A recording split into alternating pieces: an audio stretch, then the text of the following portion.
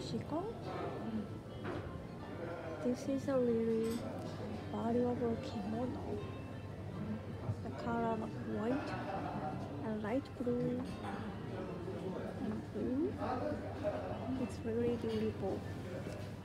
The fabric of this kimono is really valuable, called shibori. It's really beautiful kimono.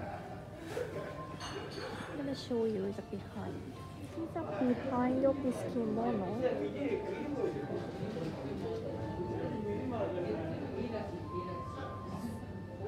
So beautiful.